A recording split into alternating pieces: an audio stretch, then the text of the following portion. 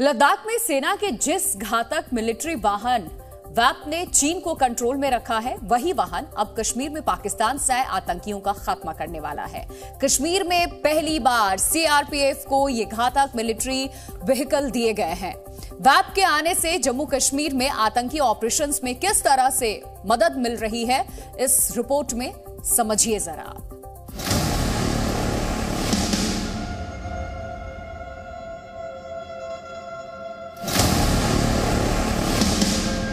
चाहे दलदल हो, चाहे जंगल हो, चाहे पानी हो, हर जगह ये व्हीकल जो है ऑपरेट कर सकती है। ये न केवल ब्लड प्रूफ बल्कि माइन प्रूफ ब्लास्ट प्रूफ और रॉकेट प्रूफ गाड़ी है।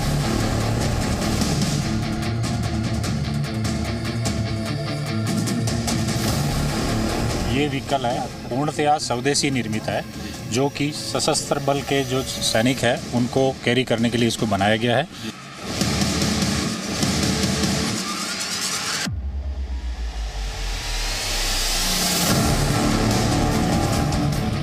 कश्मीर में ज़मीन हो, जंगल हो या दलदल, हर मुश्किल इलाके में सीआरपीएफ का आतंक के खिलाफ ऑपरेशन और ज़्यादा घातक हो जाएगा।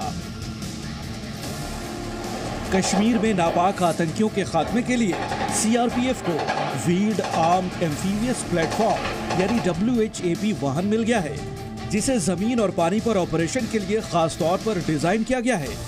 ये वो गाड़ी है जो घाटी में पाकिस्तान से आए आतंकियों को रौंदने के लिए काफ़ी होगी।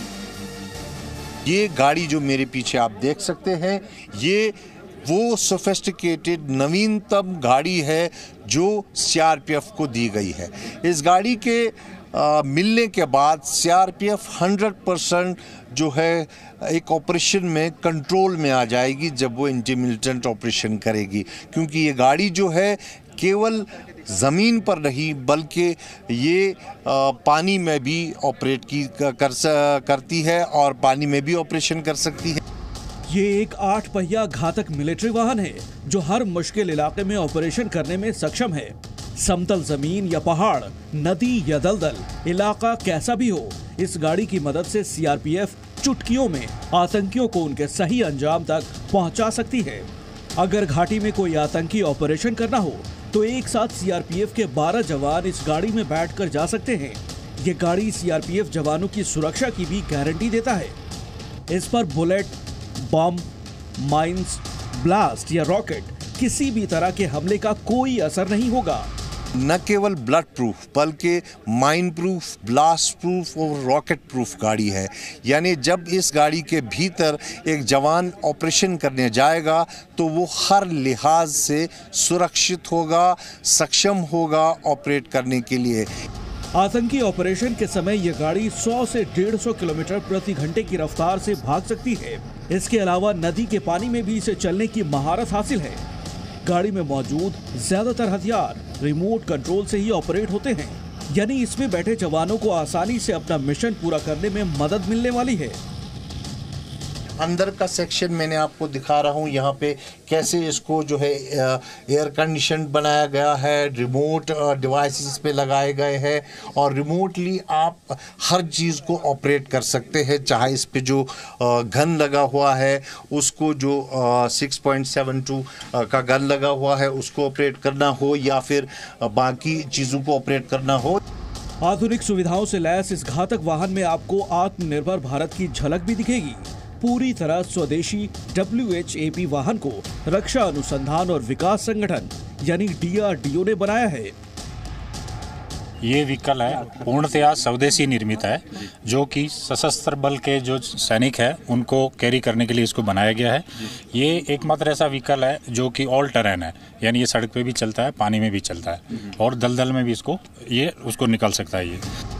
सीआरपीएफ को शुरुआत में छह डब्ल्यू दिए जाएँगे। छह में से दो वाहन फ़िलहाल कश्मीर पहुँच चुके हैं। इन्हें दक्षिण कश्मीर के इलाकों में तैनात किया गया है। कश्मीर में आतंक आखिरी सांस ले रहा है और सुरक्षा बलों को मिल रहे ऐसे आधुनिक वाहन आतंक के ताबूत में आखिरी कील साबित होंगे। भारत सरकार ने 2022 में लद्दाख में तैनात सैनिकों के लिए भी भारतीय सेना को ये वाहन उपलब्ध कराया था। सीआरपीएफ पहली सेंट्रल आर्म फोर्स है, जिसे ये घातक वाहन उपलब्ध कराए गए हैं। सीआरपीएफ पहली ऐसी अर्धसैनिक बल बनी है सेना के बाद, जिसे इस तरह की नवीनतम जो है हाईली वेपन्ड, आर्म्ड व्हीकल दी गई है। और इस व्हीकल के मिलने के बाद ये सुनिश्चित होता है कि जो एंटी मिलिटेंट ऑपरेशंस है, वो सीआरपीएफ 100 परसेंट सक्सेसफुली ऑपरेट कर सकेगी। कैमरा पर्सन मंजूर के साथ Khalid Hussain, G media, Pulwama. G